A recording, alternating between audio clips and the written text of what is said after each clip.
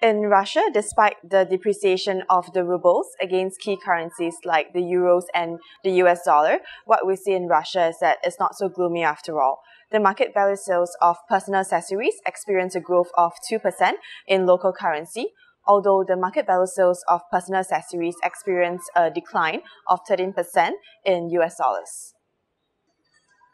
The decline, however, could be even stronger, uh, although it was smoothened by two positive effects factors that brought more consumer base to Russian personal accessories um, industry.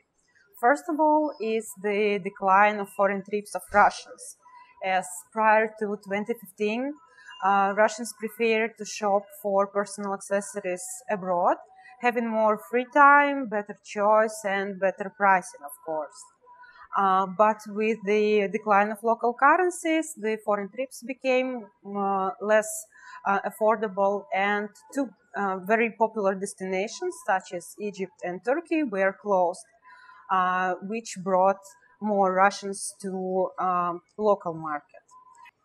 Another positive factor was that foreign tourists discovered Russia as beneficial country for shopping, especially for luxury personal accessories since Russian ruble um, was devaluated, the equivalent prices in euro and dollar became more attractive.